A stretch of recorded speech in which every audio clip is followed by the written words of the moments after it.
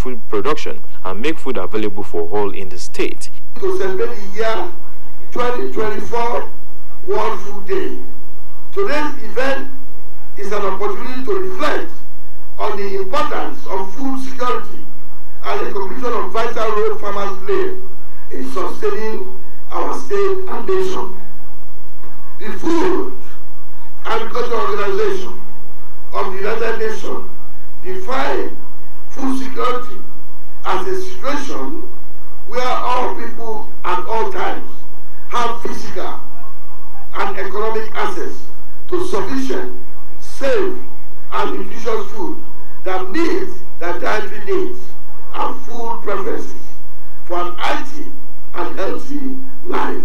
Earlier in his welcome address, the State Commissioner for Agriculture and Food Security, Otunba Tola Faseru, appreciated the governor for ensuring the maximum approval of the needs of farmers in the state. The commissioner added that the administration of Governor Ademola Adeleke recently procured farming mechanism, distributed 6,000 packs of various vegetable seedlings, 8,000 liters of herbicides and fertilizers to farmers including 8,000 cassava cuttings and 80,000 cashew seedlings, among others. Otunba Faseru, who appreciated all stakeholders in the state agricultural sector, assured the people of the state, especially farmers, of Governor Demola Adeleke's commitment towards putting in place mechanisms and innovations towards achieving the objective of food security for all citizens in the state and beyond.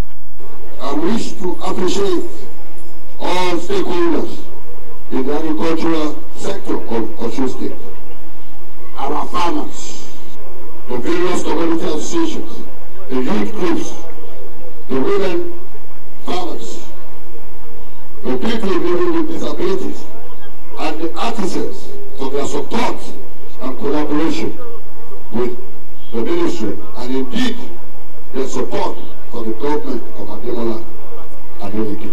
Highlights of the occasion were presentation of food products by farmers who took turns to appreciate the governor for his support to the farmers. It has been Oluwa Tobiloba Odunuga reporting.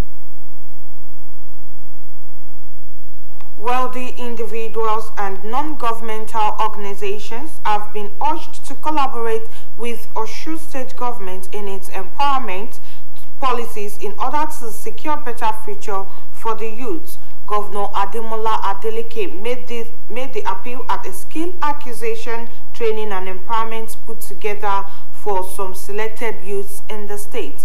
Sahid Ade, Adeboje has more of the story. Remy Hall within the premises of Osun State Secretariat was the venue of the skill acquisition training. The program afforded the selected youth from all the local government that make up Osun State the opportunity to learn conventional skills like cake baking, small chops, and other snacks with adire and tie and dye inclusive. President the gathering, Governor Ademola Adeleke described the as, as a strong pillar through which the development of a state stands. The governor who spoke through the Commissioner for Youth Affairs, Mr. Mashud Olagunju, noted that the present administration is keen at ensuring that youths in the state are connected with industries and experts that will shape their lives. He said that the contribution of the present administration to eradicating poverty will further be built up upon. He called on the beneficiaries of the skills acquisition training to transform the society through what they have learned. I want to inform you that Governor Ademola administration is dedicated to the development, engagement, employment, and inclusion of our youth. The state government has launched several programs focused on education, entrepreneurship, and skill development. These efforts are highly commendable. In his speech, the chairman of Osun State House of Assembly Committee on Youth and Sports, Honorable Abiola Adeyeye, lauded the vision of the present administration in taking the youth out of poverty.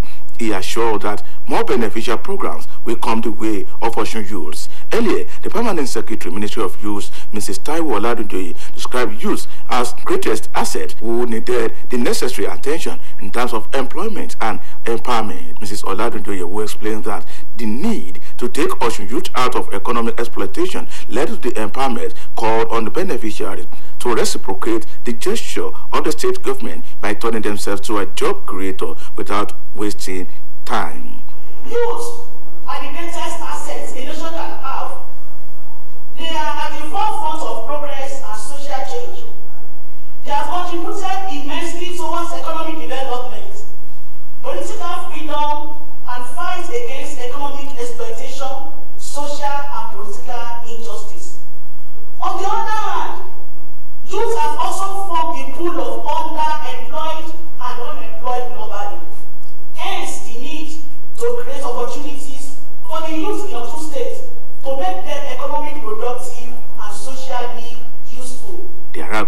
messages from Special Assistant to the Governor on Imole Youth Corps, Comrade Famukunwa Stephen, and Special Assistant on Youth Mobilization, Comrade Olusegun Oyewale. The program climaxed with distribution of cash grants to the beneficiaries to start up businesses with the skills they have acquired in Adire and cake baking.